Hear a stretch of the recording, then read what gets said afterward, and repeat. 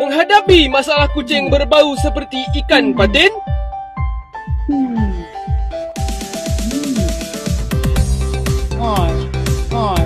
Ingin membelainya tetapi tidak tahan dengan bau hapak badannya? Dapatkan segera Jaws Spray! Semburkan saja pada kucing. Tempat kucing anda melepak untuk menghilangkan bau yang menyenangkan.